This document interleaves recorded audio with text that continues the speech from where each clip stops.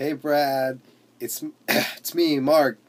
Uh, I just wanted to congratulate you on your 100th video. Uh, we've been through a lot together through the years. I remember you went to elementary school with me.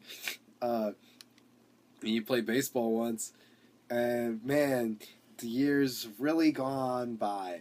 So I wanted to tell you, hey, good job. Keep making videos. I think you could be a number one COD star, and I mean the game, not fishing.